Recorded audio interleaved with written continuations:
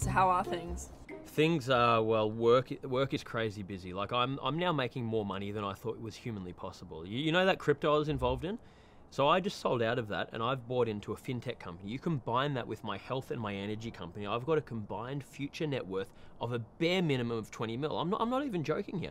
I uh, work have just upgraded my Commodore to a Merc. Uh, you know Julia, right? So she's been ranting on for the last two weeks to me. I want a Range Rover. I want a Range Rover. I want a Range Rover. Guess what I'm doing on the weekend? Yep, you got it. I'm buying Julia a Range Rover. I thought, why not let her go and show off to her friends? You know, have a bit of fun. I got the means to do it. Also, you know little Lucy, right? So she just got into the most prestigious childcare in the country. I walked in there, the waiting list for this was bigger than I've ever seen. I walk in, you know, drop a few names, and bam, she's in. Uh, oh, this is a big news. I've been waiting to tell you this all day. So, I just landed my first ever Instagram campaign. I'm going to be the face of a new laxative tea company. You're probably looking at me thinking, how does he look so good? Well, there's your answer right there.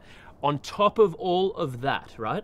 I we just moved into a new house in Toorak, got it for three million dollars, absolute steal, and I'm taking the family on a round the world trip, first class, all expenses paid. I've been traveling so much for work this year, going to use all the points. We're going to go first class. Things are great. And how are you? No, I told you, things are fucking great. No, no, no. How are you? Me, like me, you mean like, Like, actually like me? You.